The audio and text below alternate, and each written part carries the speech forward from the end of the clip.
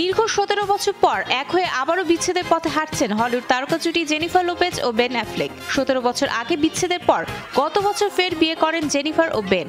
সম্প্রতি হলিউড পাড়ায় গুঞ্জন, আবারও বিচ্ছেদ হচ্ছে এই দম্পতির। তাদের দাম্পত্য কলহ নাকি চরমে উঠেছে।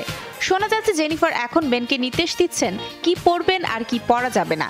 বেনের ধূমপানে অভ্যাস একেবারে পছন্দ করছেন না অভিনেত্রী। বেনের অগোছলো হয়ে থাকা নিয়েও সমস্যা আছে জেনিফারের। এদিকে বেনও বুঝতে পেরেছেন, জেনিফার ঠিক আগের মতোই কাজ পাগল। আর কোনো দিকেই বিশেষ খেয়াল নেই তার। যে কারণে দুই হাজার চার সালে তাদের বিচ্ছেদ হয়েছিল। যদিও বিষয়টি তাদের দুজনের কেউই এখনও প্রকাশ্যে স্বীকার করেননি।